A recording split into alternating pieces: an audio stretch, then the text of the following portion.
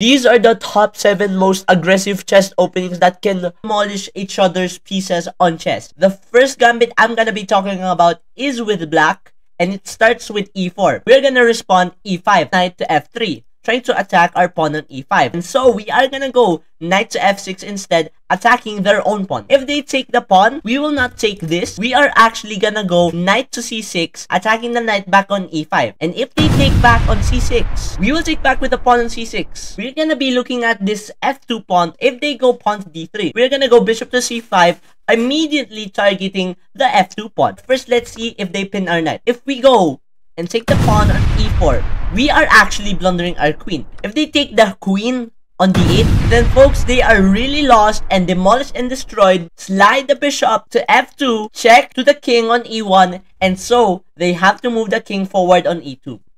This is actually checkmate. Not only a checkmate, but a skewer, which is insane. So there's no doubt you can try this opening. I recommend you to try this, the Stafford Gambit. Even advanced and expert players sometimes fall for this. I want to show you some more aggressive gambits. e4 and e5 again. They will go knight to f3, most common response. We're gonna go pawn to f5. We're gonna gambit a pawn. This will be dangerous because after they take, we will push the pawn on e4. If they move their knight to d4, we are gonna go knight to f6. If they go here, we are gonna go, we are gonna go pawn to c5, harass the knight once again on d4. The knight must move. We're gonna take the pawn on d3. And since they don't want to isolate their pawns, they will try to do this. Pawn to d5. This is suddenly a fork in the next move. So they have to anticipate it. And so if that happens, what will happen is that if we attack the bishop and the knight or the bishop, then they will have to undefend their own pawn on f5. And we will be getting back with development. There's another line here that I want to show you in the Latvian gambit. Bishop to c4 is another move in the Latvian gambit. And it is a wrong move because we're first gonna attack again the knight on d4 and if it goes back we are gonna go and attack the bishop and look how powerful that position is. We like have three pawns in the center of the board just aggressively attacking white, which is crazy. And so folks, we are gonna take the free pawn on f5 and we have overall a very good advantage to the position. Let's go to our next gambit. This time it's with white, e4, e5 the most common response, and we got the bishop's opening. Trying to develop the bishop here and they will go here. The most popular move, knight to f6. They will enter bishop's opening territory. And so what will happen is that there there are two free pawns. Let's talk about this first. This folks I'm not gonna talk about because I have talked about it in another video. So folks if they take the pawn on e4, we take back on e5. The knight is oddly placed on e4. Surprisingly though and funnily enough, d5 is played most on the database, yet it's a blunder. Because if we take, they take, they blunder the queen. So they will not do that. So we will just take. Well, folks, we are now attacking the knight. Can be bad. Because after they go here, we have upper advantage of going bishop to f7. So they got two options, right? But they're not really options because over those two options, you lose the queen. And the other option, you lose the queen. So folks, I recommend you to try this because you're not only sacrificing a bishop, so I would recommend you to try and analyze more of this opening or try to watch a video and more deeply about this opening. So folks, let's move on to the next gambit. We're gonna do something different. Not the most popular move, let's go to d4 this time. We're gonna go knight to f6 and the most popular move is pawn to c4.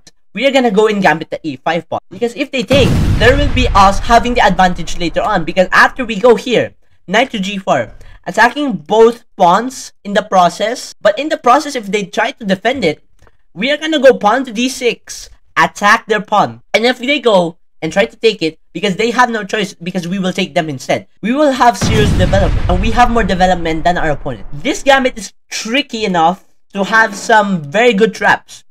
For example, h3 would be a mistake. Because we take the pawn on f2, they have to take, because this is a fork.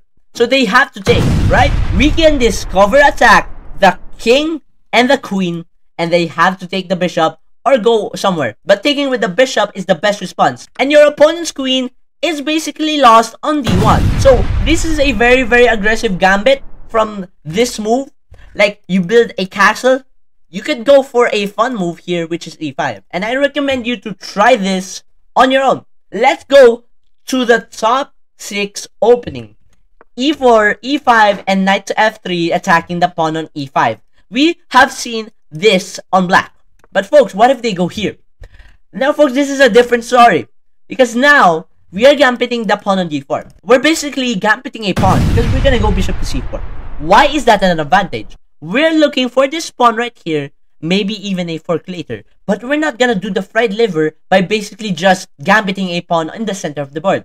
They will go here, bishop to c5, pawn c3, gambit another pawn. Because if we let themselves be taken anyway, that would be an unpleasant position for black. Very, very breathable for us and have more space, which is what black doesn't want. So they have to take the pawn c3. They have initiated something out of the blue. This move is a sacrifice of a bishop on f7. So folks, they will take. So folks, if they take, what will happen? This is a fork. To the bishop and to the king, they have to go back here. And a quick side note and a pro tip is to go here. Trying to force them to go here and block the check from the king. And so we will take the bishop. Why will we do this? Because just in case, if they take the pawn on b2, their rook gets trapped. So I recommend you to do this as an exercise you can maybe even do this in other openings. Yeah. So let's go to the last gambit. This last gambit can be something a little bit short, but we'll keep it on here because it's kind of aggressive too. We're gonna go e4, e5, and then d4. You know where this is going? They take, we go here, they take. And you know what's that? You guessed it. The Danish Gambit. And so a lot of people play this, but Actually, not a lot of people play this. So, folks, we were gonna develop this here, bishop, and if they take back, we just get a full double cannon of bishop. That is how exciting the Danish Gambit be. I mean, that's not exciting, of course, just having two cannons. I mean, you can use the bishops to checkmate early queen attacks, like this. And probably, beginners and intermediate might fall for this because some of them, or most of them, will fall for the trap because it's too aggressive. So I might show you one trap. If they go knight to f6 for example, we will push a pawn, trying to remove that knight out of the board. And so if they go knight to e4, we will go actually sacrifice the bishop, they take back, we will go here. That's a check to the king and a fork. Now they cannot castle if they move their king. So folks, if they move their king now, we take, we have the upper advantage, we have a very good space in the board, and so, and so we will win the game. I mean, look at the look at the king. This fortress already destroyed. They got plus one pawn, but that's fine. Their position is already destroyed. Meanwhile, we have the upper advantage here to castle also in the long run, and also their pieces are on the back run. We got so much pieces in the board quickly, and we are very fast in the board. So folks, those are all the 7 gambits I'm gonna share you today. I hope you liked the video, and if you did, please like, or no if you don't want to. So folks, please subscribe. I don't know to motivate me to make more videos like this. You guys are awesome. Thank you for watching the video and enjoying the video. We just reached 1k. So chess fans and you know, stay cool. Bye.